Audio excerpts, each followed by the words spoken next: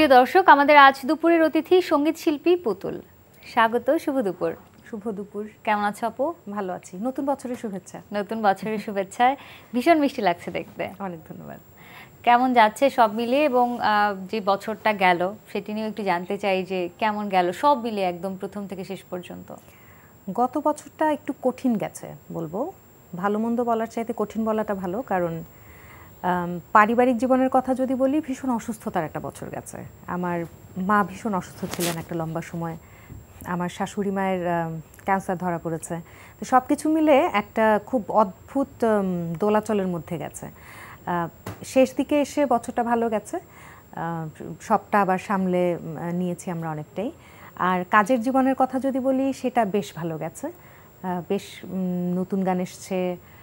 উপস্থাপনায় আমি আবার বেশ নিয়মিত হয়েছি, বেশ কিছু অনুষ্ঠানে, অনেক একটা লম্বা বিরতির পরে।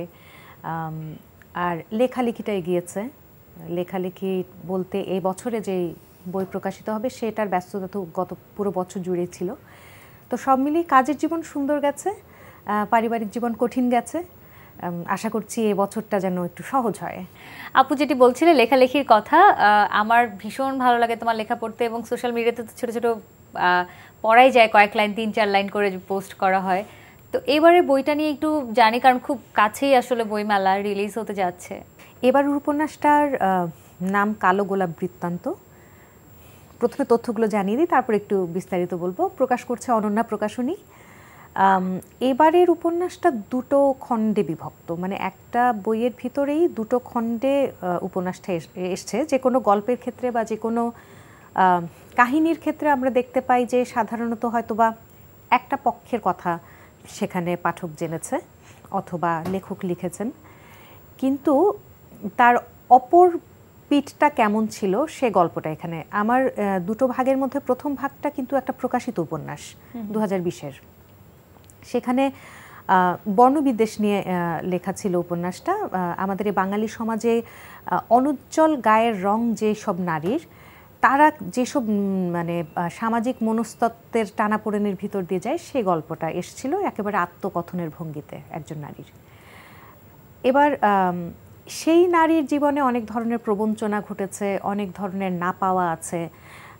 সেই গল্পটা কেমন ছিল? অর্থাৎ যার কাছ থেকে প্রবঞ্চিত হবার অভিজ্ঞতাটুকু নিয়ে এসে বেঁচেছে পরে সেই পক্ষের আত্মকথন বা কি বলি যদি বলি যে আত্মস্বীকৃতি আহ, সেই দিকটা এবার নতুন ভাগে এসছে। তো এটা আমি খুব আনন্দ নিয়ে লিখেছি পুরো গত বছরটা কারণ এটা একটা নতুন ধরনের কাজ হয়েছে এবং আমার মনে হয় পাঠক একটা পূর্ণাঙ্গ কিছু একটা পড়ে ওঠার যে তৃপ্তি সেটা পাবেন বাহ চমৎকার। তার মানে পুরনো পাঠক যারা ছিল তারা তো আসলে এই বইটার জন্য অপেক্ষা করেই আছে আর নতুন পাঠকদের জন্য একসঙ্গে একটা প্যাকেজ হতে যাচ্ছে হ্যাঁ। এই বইটি। দারুণ বিষয় আপু অনেক শুভকামনা থাকল এবং বইটি নিশ্চয়ই আমিও সংগ্রহ করব এবং পড়ব। আর আমি তোমার তোমার আগের বইগুলো আমার কাছে আছে একটা বই সম্ভবত আছে আমার কাছে। বই বইমেলায় দেখা হবে। হ্যাঁ দেখা হবে নিশ্চয়ই। এবার গান নিয়ে জানতে চাই নতুন বছরে কি কি পরিকল্পনা? নতুন বছর শুরুর প্রাককালে আমরা মানে একত্রিশ তারিখে গত বছরের শেষ দিনে একটা নতুন গান এসছে আমার এবং রেজার। তো রেজার কম্পোজিশনে আমি কথা সুর সঙ্গীতেই গানটা গেয়েছিলাম। তো সেই গানটা এখনও একদম নতুন। সেই গানটা মিউজিক ভিডিও আকারে আসবে অডিও এসছে মূলত তো সেই সেই গানটা আসবে। আর এছাড়া আরও অনেকগুলো গানের কাজ হয়ে আছে গত বছর থেকেই। তো সেই কাজগুলো এবার শেষ করতে চাই। আর আমার নিজস্ব যে কম্পোজিশন আমি যেটা করি পুতুল গান সেটারও অনেক অনেক পরিকল্পনা আছে। দেখা যাক। অটোমেটিক বিকাশ করতে সেট করুন অটোপে বিকাশ থাকলে আর কি লাগে? আচ্ছা পুতুল গানের জন্য শুভকামনা কিন্তু আমাদের এই সেটে যেহেতু পুতুল আপুকে পেয়েছি একটু তো গান শুনতেই হবে। যে গানটির কথা বলছিলে যে অডিওটা রিলিজ হচ্ছে সেটির কি কিছু অংশ একটু শুনব? হুম নিশ্চয়ই। এই গানের শিরোনাম বন্ধুরে। কথা সুর সংগীত করেছে আমার সংসার সঙ্গী সৈয়দ রেজা আলী গাইছে আমার বন্ধুরে কতদিন দেখি নাই তোরে? আমার বন্ধুরে কতদিন দেখি নাই তোরে? সময়টা যেন থেমে আছি। দেখব আবারও যদি মনটা বাঁচে আমার বন্ধুরে। কতদিন দেখি নাই তোরে। আমার বন্ধুরে। কতদিন দেখি নাই তোরে। বাহ চমৎকার। এটার মিউজিক ভিডিও কি কমপ্লিট হয়ে গেছে নাকি কাজ হবে? এটা একটা লিরিক ভিডিওর মতন এসছে কিন্তু মিউজিক ভিডিওতে তো যেহেতু আমার উপস্থিতির একটা ব্যাপার আছে তো সেই শুটিংটা এখনও করা হয়ে ওঠেনি। এর মধ্যে হয়ে যাবে আশা করছি। আচ্ছা আর সিনেমার কথা যদি বলি মানে প্লেব্যাক বা এখন তো ওটিটি প্ল্যাটফর্মে অনেক সিনেমা রিলিজ হচ্ছে ওয়েব ফিল্ম সেগুলোতে কণ্ঠ দেওয়ার কাজ কি হচ্ছে?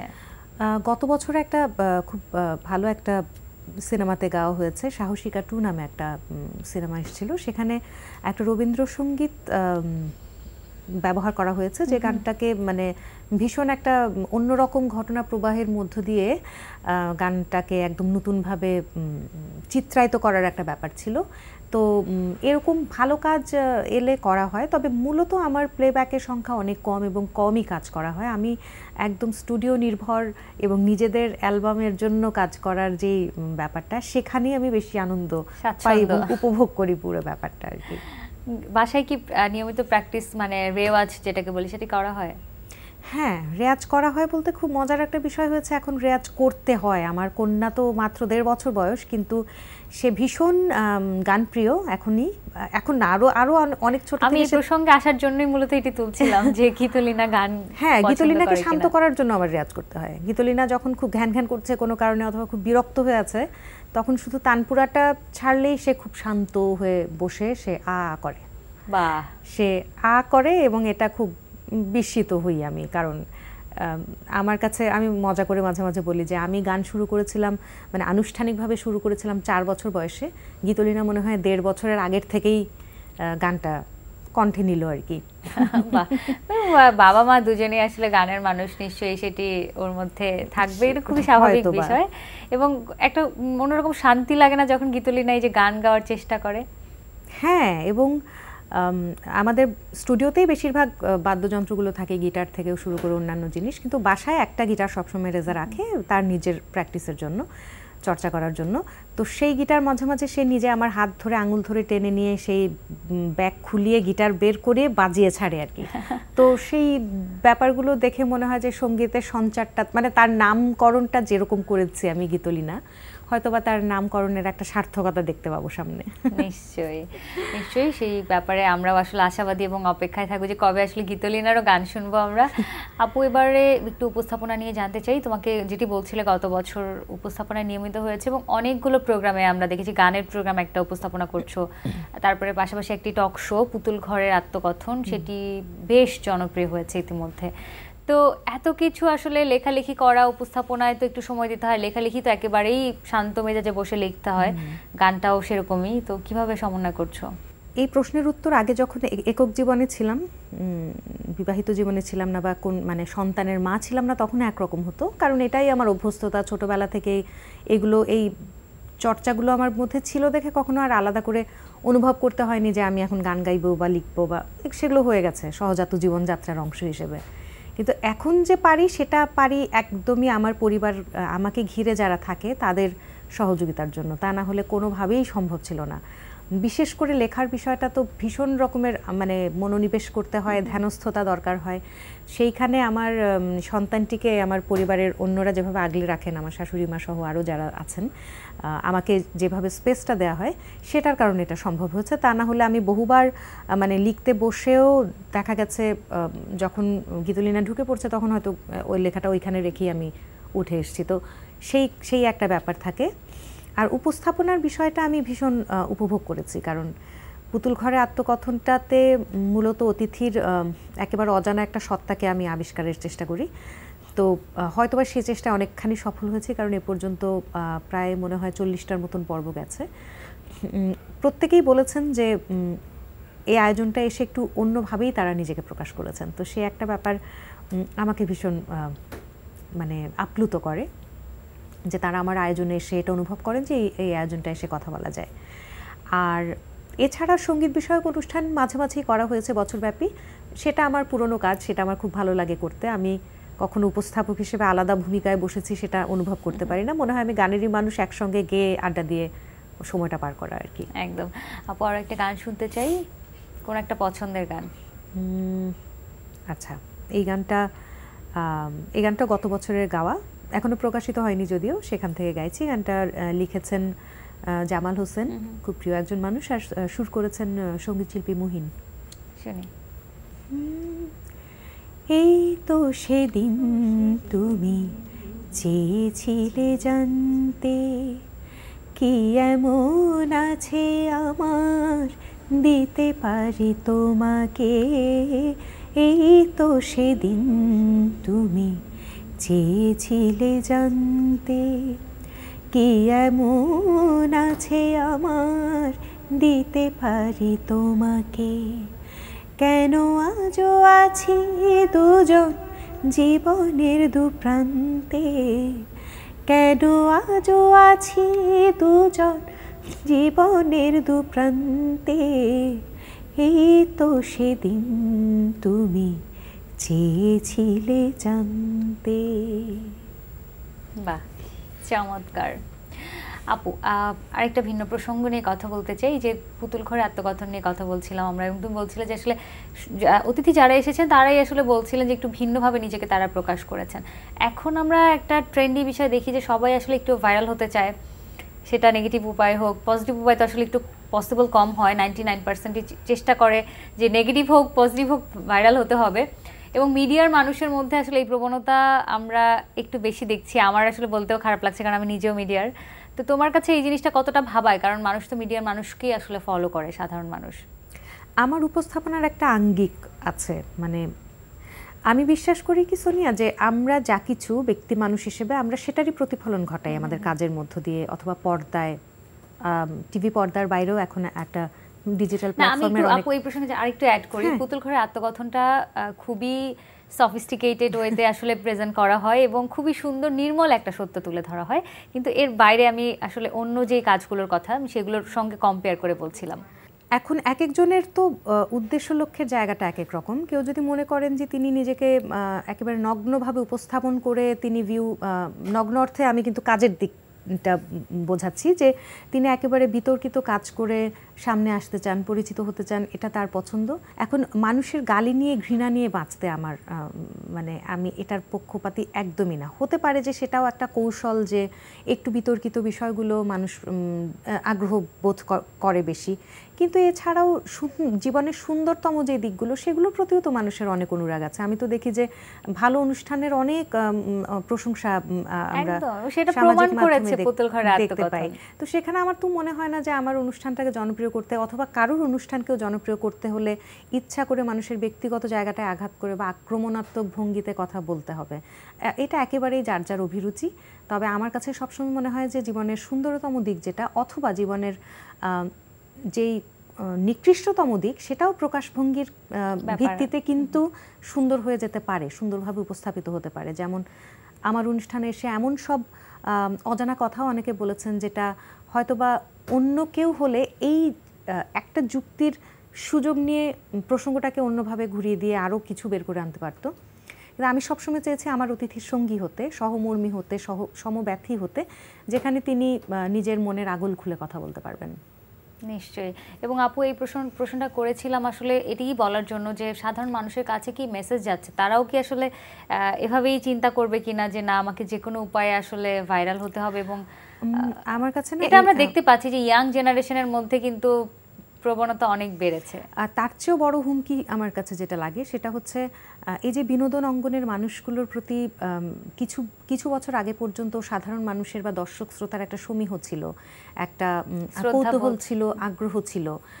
সেই জায়গাটায় ভাটা পড়ার জন্য এই ধরনের কার্যক্রমগুলো যথেষ্ট। কারণ বললাম না যে কিছু ব্যাপার নিজের ভিতরে থাকা ভালো। সব কিছু যদি খুলে মেলে বলে ফেলা হয় দেখিয়ে দেওয়া হয় তাহলে আর সেই আগ্রহের কৌতূহলের জায়গাটা থাকে না। তো এটা বিনোদন অঙ্গনের সামগ্রিক যারা কাজ করছে বিনোদন কর্মীদের উপরে শিল্পীদের উপরে কিন্তু এটা অনেক নেতিবাচক প্রভাব পড়ছে বলে আমার মনে হয়। একদমই। সেখান থেকে আমরা বেরিয়ে আসতে চাই নিঃসন্দেহে। আপু আবার একটু গান প্রসঙ্গে যাব। গত বছর তো অনেক প্রোগ্রাম করা হয়েছে স্টেজে প্রোগ্রাম করা হয়েছে। দেশের বাইরে যাওয়া হয়েছে? গানের দেশের বাইরে আপাতত আমি যাচ্ছি না কারণ যেহেতু গীতুলিনা এখন অনেকটাই ছোট তবে এই বছরে বেশ কিছু অনুষ্ঠানের কথা হয়ে আছে। এখন আমি মনে হয় তাকে সঙ্গে নিয়ে অথবা অন্তত তাকে রেখে গিয়ে দু চার দিন অথবা এক সপ্তাহের জন্য অনুষ্ঠান করা দেশের বাইরে সেটা সাহস করতে পারি। যেহেতু গত বছরটা সে অনেকটাই ছোট ছিল সেই ব্যাপার অনেক ভালো প্রস্তাব আমি ফিরিয়ে দিয়েছি অথবা বলতে পারি থামিয়ে রেখেছি। সেটা সময় সুযোগ হলে আবার শুরু করা যাবে কারণ মাতৃত্ব ভীষণ কঠিন একটা দায়িত্ব কিন্তু। সেটার সঙ্গেও তো আমার ভারসাম্য রক্ষা করার ব্যাপার আছে শিল্পী জীবন এবং আমার মাতৃত্বকালীন যে অভিজ্ঞতার ভিতর দিয়ে যাচ্ছি সেটা। নিশ্চয়ই আপু অনেক শুভকামনা থাকল। অনেক ধন্যবাদ। যদি দর্শকদের কিছু বলতে চান আর আমরা কিন্তু একটি গান শুনতে শুনতে বিদায় নিব। তোমাকে ধন্যবাদ তার আগে। তোমার সঙ্গে বরাবর আড্ডা দিতে আমার খুব ভালো লাগে। আর যারা দেখলেন সবাইকে নতুন বছরের শুভেচ্ছা। বছরটা ভালো কাটুক এটাই। অনেক ধন্যবাদ আপু অনেক শুভকামনা থাকল। গান শুনব আমি একটু বিদায় নিয়ে আসি। অটোমেটিক বিকাশ করতে সেট করুন অটোপে বিকাশ থাকলে আর কি লাগে? প্রিয় দর্শক, আমরা চলে এসেছি অনুষ্ঠানের শেষ প্রান্তে। অনুষ্ঠান সম্পর্কে আপনার মতামত জানাতে মেইল করুন আজ দুপুরে অ্যাট এনটিপিবিডি ডট কমে বিশ্বের যে কোনো প্রান্ত থেকে যে কোনো সময় আজ দুপুরে দেখতে ভিজিট করুন আমাদের পূর্ণাঙ্গ ওই portal W W W dot NTPBD dot com এছাড়া এনটিভির সব জনপ্রিয় অনুষ্ঠান ও খবরের আপডেট পেতে ভিজিট করুন আমাদের ইউটিউব চ্যানেল ও ভেরিফাইড ফেসবুক পেজ সবার মঙ্গল কামনায় আজকের মতো এখানেই শেষ করছি। শুভ দুপুর। থ্যাংক ইউ আপু। গান শুনতে শুনতে বিদায় নেই। গানের শিরোনাম মায়ের ছোট্ট পুতুল, এটা আমার কথা সুর কম্পোজিশনে দু হাজার বারোতে প্রকাশিত একটা গান। ব্যস্ত দিনের একটি ফাঁকে পড়ল হঠাৎ মাকে মনে কাজের চাপে ক্লান্ত যখন আকাশে দেখার পাই না সময়, হঠাৎ আমার মনে হলো, মা, হয়তো পাশে আছে, হাত বাড়ালে ছোব মাকে, মায়ের চেনা গন্ধ নেব। ব্যস্ত দিনের একটি ফাঁকে পড়ল হঠাৎ মাকে মনে, কেন যেন মনে হলো, আমার পাশে হয়তো কোথাও মা রয়েছে খুব গোপনে, মায়ের চেনা কণ্ঠ যেন অনেক দূরের পথ পেরিয়ে, পাহাড় নদী মাঠ পেরিয়ে আমার কানে ভেসে আসে